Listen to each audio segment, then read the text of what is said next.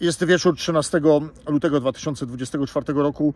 Szczęśliwy koniec poszukiwań 40-letniego policjanta z Komendy Powiatowej w Kuczborgu.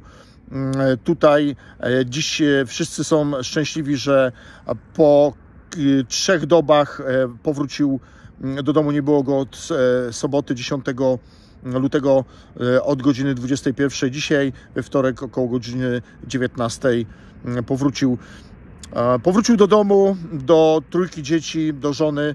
Mamy informację, że wkrótce potem został przewieziony do e, szpitala tutaj w Opolu właśnie, który jest e, za nami. Mm, Pytanie, czy coś wydarzyło się w ciągu tych trzech dni. Mamy nadzieję, że badania zakończą się pomyślnie i wkrótce wróci e, ten człowiek do normalnego funkcjonowania. E, Ogromna praca e, agentów e, Krzysztofa Rutkowskiego, e, fantastyczna praca w terenie. Mamy nadzieję, że wszystkie te informacje, które e, tutaj zostały wer- zweryfikowane i miejsca, do których dotarli e, ludzie Krzysztofa Rutkowskiego, zaowocowały tym, że 40-letni policjant powrócił do domu. Jeszcze dziś na naszym portalu Patriot24 i na naszym kanale na YouTubie e, Patriot24 TV oraz na platformie Telewizja Patriot24 będzie można zobaczyć reportaż z dzisiejszych e, poszukiwań e, tego człowieka właśnie w terenie.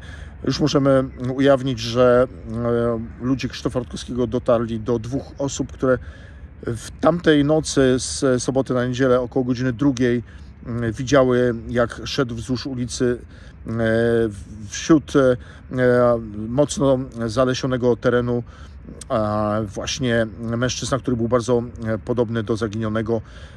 Dziwna sytuacja, środek nocy, deszcz i właśnie człowiek, który był bardzo mm, podobny do e, tego 40-latka. Mm, Tam dzisiaj skupiły się poszukiwania e, ekipy Krzysztofa Rutkowskiego. Dziś wieczorem e, mężczyzna powrócił do domu. Mamy nadzieję, że całość zaowocowała tym szczęśliwym zakończeniem. Wszelkie nowe informacje na temat akcji Biura Rutkowski oraz e, wszystkie e, inne informacje związane z tą sytuacją na bieżąco na portalu Patriot24 i na naszej platformie Patriot24 TV. Zachęcamy do subskrypcji. Dziękuję bardzo, szczęśliwy koniec i dobranoc.